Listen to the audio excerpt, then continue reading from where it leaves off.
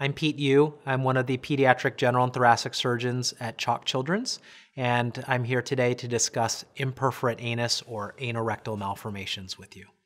Imperforate anus or an anorectal malformation describes a broad spectrum of problems or birth defects associated with the anus and the rectum.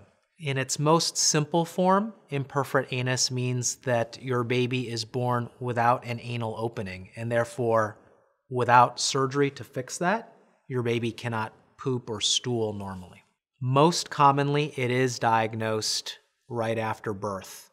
Typically, your baby's doctor will do a physical exam, uh, including uh, looking at the anus.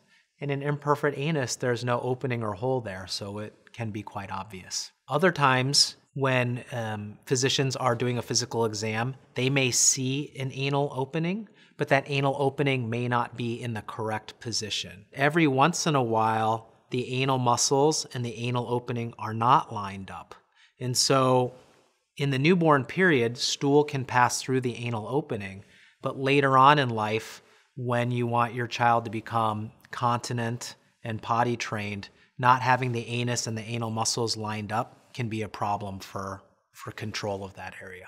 If we find an anal rectal malformation that is low, meaning we see an opening, perhaps it's just not quite in the right place, uh, then we can operate quite shortly after birth. The exception to that might be if your baby is born very premature or has other associated birth defects that are more life threatening. Then we may hold off until your baby is bigger and older and stronger. If the anorectal malformation is what we call a high lesion, meaning the anus and the rectum are quite far away from where they're supposed to be, and if there is furthermore an abnormal connection with the urinary tract, then sometimes we'll perform what we call a colostomy. So in, in a colostomy, we make an incision on the abdomen and we take a part of the colon and literally stitch it to the abdominal wall. And in that way, your baby can eat and process food, but the stool, instead of coming out of the anus, will come out of the colostomy and be collected in a little bag that can be changed as frequently as needed after birth. Typically, when your baby is older and bigger and stronger, then we can do the formal repair of the anal rectal malformation.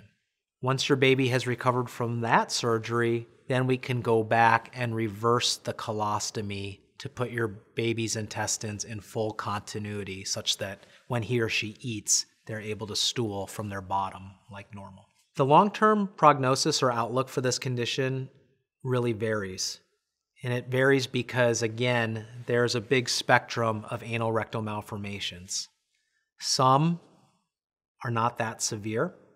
And in that case, your baby can have an excellent prognosis, uh, be fully continent, and have a, a normal, typical stooling pattern and life. In severe anal rectal malformations or anal rectal malformations that are associated with other severe medical problems, it remains to be seen what the prognosis will be.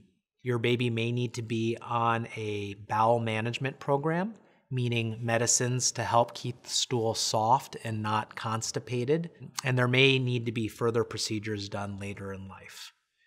Once we are able to see your baby after he or she is born and do whatever studies are needed, we can give you a full and better detailed sense of what the prognosis is going to be.